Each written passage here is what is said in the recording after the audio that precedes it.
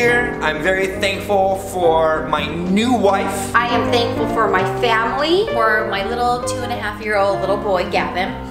He's the light of my life. I am thankful for my grandchild. He is the gift uh, truly from God. I'm grateful for my family who supports me every day with him. My friends, my family, and for the community I have.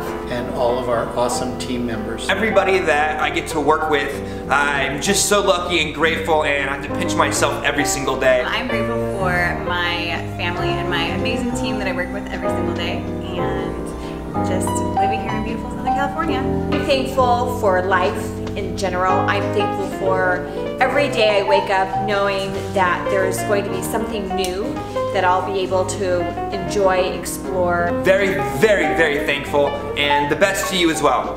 Happy Thanksgiving!